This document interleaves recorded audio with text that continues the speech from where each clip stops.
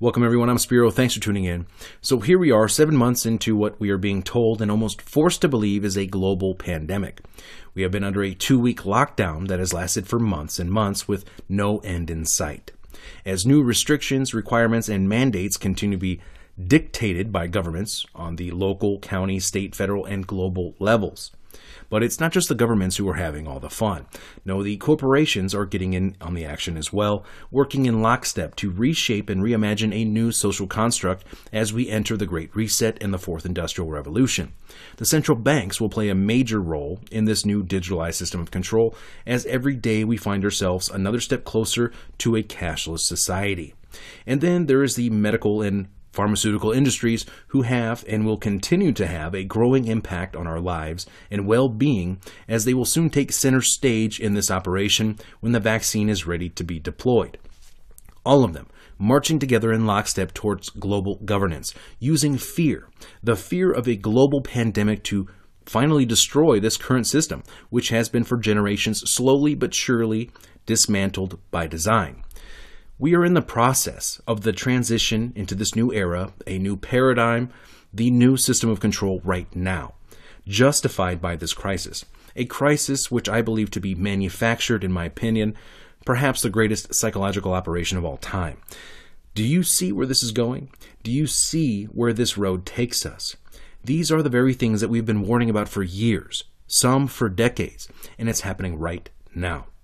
I see people asking all the time, will the vaccine be mandated? The new experimental vaccine that's being rushed through development as we speak with rolled back regulations, zero liability, and guaranteed government contracts to the research and organizations funded by Bill Gates. Right, the very same vaccine that President Donald Trump said yet again yesterday on July 16th that he would have the military, led by his generals, deliver the vaccine across the country. Which leaves me wondering what exactly does he mean by delivery? Accelerating the delivery of life saving treatments and ensuring that we will have a vaccine in a record time. We're doing fantastically well on that. That'll be for another time, another meeting, but we are doing on therapeutics and vaccines incredibly well. No administration in history has removed more red tape more quickly to rescue the economy and to protect the health of our people. When you think of it, uh, we are all set up that as we get the vaccine or therapeutic, and we're set up militarily, we're going to be delivering it in record time. It's all set to move. We put an investment up front, and we have logistical people, generals, great people. They're going to be delivering this all over the country as soon as we have it, and we've made tremendous progress. You've been reading about it. So, will the vaccine be mandated? Well, in my state, the government has already authorized mandatory vaccination, and there's a real good chance that your state has too. They just haven't enforced it yet because, well, everyone's still waiting for this brand new vaccine to arrive right from the military. So the question is will they enforce it when the time comes? According to the Arizona Revised Statute Title 36 Public Health and Safety, 36 787 Public Health Authority during state of emergency or state of war emergency, Section C. In addition to the authority provided in subsections A and B during a state of emergency in which there is an occurrence or imminent threat of smallpox, plague, or viral hemorrhagic fever, or a highly contagious and highly fatal disease with transmission characteristics similar to smallpox. The governor, in consultation with the director of the Department of Health Services, may issue orders that mandate treatment or vaccination of persons who are diagnosed with illness resulting from exposure or who are reasonably believed to have been exposed or who may reasonably be expected to be exposed. Folks, that's pretty much everybody they want, okay? Everybody and anybody at that point. Item 2, isolate and quarantine persons. Item D. Law enforcement officials of the state and National Guard shall enforce orders issued by the governor under this section. Now, there are some outs here, despite the obvious questioning the constitutionality of this emergency order and the severity of the public health emergency at hand, because they are cooking the books, folks. They are manipulating the numbers.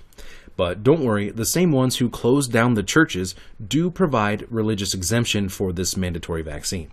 But uh, they can still throw you in jail, or um, I mean, you know, isolation, according to this emergency declaration. Now, item F states if during a state of emergency the public health is not endangered, nothing in this title shall authorize the department or any of its officers or representatives to impose on any person, against their person's will, any mode of treatment, provided that sanitary or preventative measures and quarantine laws are complied with by the person. Now, so it makes it kind of sound like you're off the hook if it's not a deadly pandemic, right? Well, aside from the part where they say that they can hold you against your will. So, again, the question is will they enforce it? Will they enforce it here? Will they enforce it where you live? Okay, remember, these are the same ones who have been mandating the lockdowns from the start, closing down businesses, locking up business owners who defy the lockdowns, while at the same time releasing actual murderers and violent sex offenders from jail and destroying our way of life and the economy while infringing on our civil liberties, all from behind a mask, if the hypocrite decides to wear one in front of the cameras. These are the same ones who have been mandating those masks, despite several studies saying that there is little to no evidence to suggest that the face masks worn by members of the public prevent people from being infected by breathing in the virus. There's even a study showing people who do not wear masks do not shed the virus. Yes, this is from Nature Medicine, published at nature.com on April 3rd, 2020. Among samples collected without a face mask, we found that the majority of participants with influenza virus and coronavirus infection did not shed detectable virus in respiratory droplets or aerosols. These are the same ones who have been locking down schools despite multiple studies which show the virus does not affect kids and kids are not spreading the virus. These are the same ones selling fear of the rising cases as testing has been ramping up. Yes, the cases have been increasing, but the deaths have been declining. Despite the manipulation of the numbers, for example, the death certificate surveillance. They've been going back weeks reviewing symptoms of people who have already died and adding those mortality cases to the COVID numbers. And then there's the deaths who have absolutely nothing to do with the virus at all whatsoever. They're being counted as COVID. The false positives, the testing scandals, and the investigations being launched into them, finally, into the numbers. So, will the vaccine be mandated? Well, if it is mandated, it likely won't be by President Trump, at least not initially. And I'm not saying this in support or defense of the president. I'm nonpartisan, but let me ask you this Were the lockdowns mandated by the federal government? Are the masks being mandated by the federal government? No. This is a reminder. This is being done by people in your local levels. This is being done by people within your communities, in the local governments those will be the ones who will likely mandate and implement the mandatory vaccination if it comes to that. And let me tell you right now, it is in the emergency orders for my state that was implemented by Governor of Arizona, Doug Ducey. The same Doug Ducey who does not feel the need for himself to isolate or lock down or social distance or even wear a mask unless he knows the cameras are around. But the language to forcibly vaccinate you and your family is in his emergency declaration.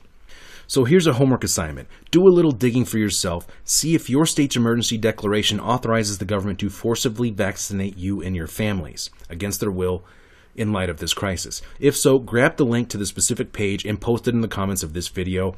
We just might do a follow up uh, and show all of the states who have already authorized, so they say, mandatory vaccination in your areas. Now, it's time to get active, people, on all fronts. Identify who the tyrants are in your local government. This is the first step to resistance. And let me make it clear right now, I am not anti vaccine. I believe everyone should have the option to decide for themselves.